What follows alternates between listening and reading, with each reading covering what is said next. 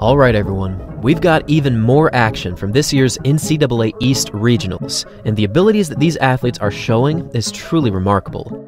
In the men's 100 meter quarterfinals, we thankfully get to see a better racing angle than what we saw a few days earlier, because this time we're actually on the home stretch, not looking across the entire track. So thanks for that. But what was even more enjoyable than this better angle here were the performances that these athletes threw down. Now, keep in mind that only the top three athletes in each heat automatically qualify into the NCAA finals, so as you can probably imagine, it was constantly a mad dash to the finish line in each of these heats. For the opening heat, we saw an explosive start from Dante Brown and Alaba Akintola in lane 3 and 4. However, over the closing stages, we saw Javonte Harding take off, winning this opening heat in 10.08 seconds, a time that tied his own personal record. Finishing in second was Alaba Akintola from Middle Tennessee in 10.18 seconds, and also finishing in third was Matthew Boling, also in 10.18 seconds. These three would ultimately be the only qualifiers from this opening heat, meaning that over the next two 100 meter races, the overall speed would only increase. For the second heat, we saw the returning SEC champion Favor Ashe square off against the fastest man in the opening rounds, Ismael Kone from New Orleans.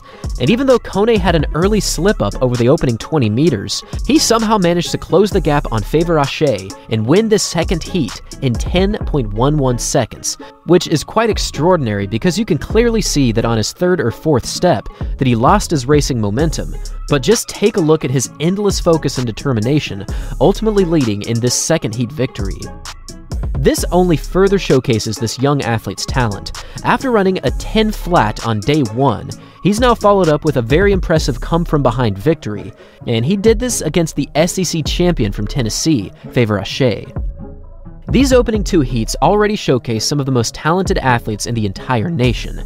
However, for the third and final heat, we saw a very familiar face once again blow our minds. After a fair start, Joseph Fahnbulleh in lane 5 was slightly behind the entire field. In fact, I'm going to pause the video right here, so that you can see just how much ground that he would have to make up if he wanted to win this third heat.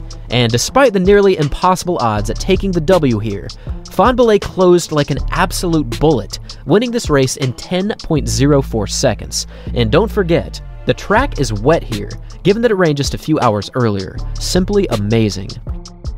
At this point, we've seen this come from behind victory countless times, but it usually only happens in the 200 meters, so to see it happening constantly now in the 100 is pretty remarkable, and against all odds, Fahnbulleh now comes away from this year's Eastern Preliminaries as the favorite in the 100 meter dash.